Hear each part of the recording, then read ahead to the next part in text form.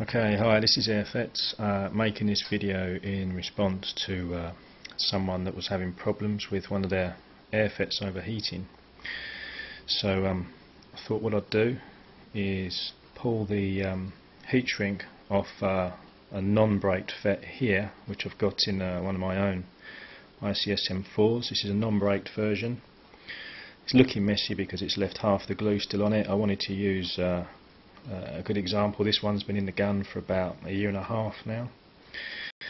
Um, this is a, uh, as I said, ICS-M4 Pro line. Um, slightly modded, it's got an SHS high torque uh, motor, um, an M110 spring, and uh, SHS internals.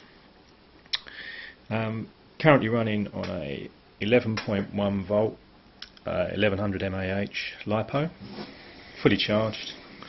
Um, this test is purely to demonstrate uh, the heat generated. Um, the test I'm going to use is 120 shots in 60 seconds in semi-automatic. That will give us a very good idea as to how much heat you're likely to see generated for a, a general semi-skirmish. Um, so here we go. I'm going to read the uh, current temperature of the FET, which should be somewhere around ambient. 16 and a half degrees. It's a bit nippy in here. That's what we've got. 16 and a half. We'll set the timer for a minute. We'll press start. We'll have to catch up a bit because I've only got two hands, but basically I'm going to try and do two shots per second. Probe the uh, FET at the end and see what we've got.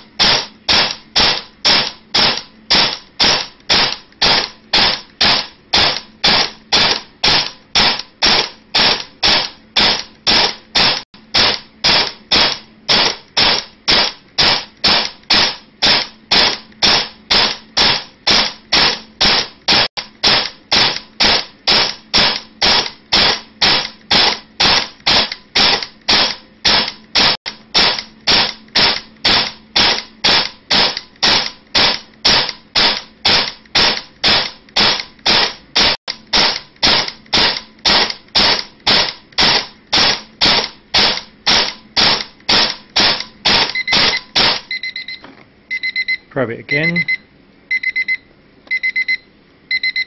26.7 degrees. That's well, well, well within well within what I would like to see. That's no problem at all. Um, so that's that's barely warm to the touch. Barely warm. No problem at all there. Okay, guys, that's it. Um, just to demonstrate, you know, uh, if, if there's a lot of there's a lot of cheap FETs out there. This FET is a um, international rectifier. See if I can get that on there.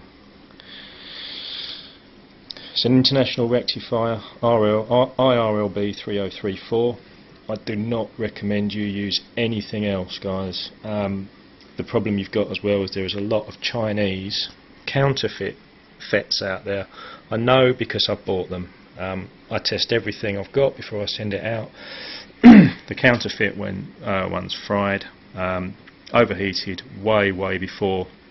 Um, some of them overheated within 15 shots on semi. Um, and they were actually marked up um, international rectifier. They had all the markings, the stampings, um, but they were counterfeit. Um, so all of my FETs only come from uh, reputable sources in the UK. Um, I'm not going to give out who the suppliers are, but um, they are available. Um, you do have to pay for them. They are expensive. The um, the Chinese FETs were somewhere in the region of 20 cents each. Um, you've got to pay a few quid each for uh, for the genuine article. So um, that's basically why my FETs are fairly expensive overall. But there we go, guys. That's the end of the video. Um, hope it's given you a good demo. Cheers now.